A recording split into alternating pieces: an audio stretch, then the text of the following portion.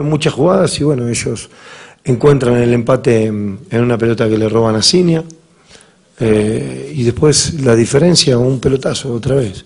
Cosas que, te cuestan entender porque las trabajas, las decís, asimilamos, vemos, eh, otra vez, otra vez eh, la misma cantaleta, entonces te duele. Pero bueno, acá, y no lo digo por decirlo, tuvimos varias situaciones de gol, aparte del penal, y, nada, te vas con esa sensación de soy un estúpido, sí, porque eh, hay que dejar algunas cositas de lado en decisiones que uno tiene que tomar.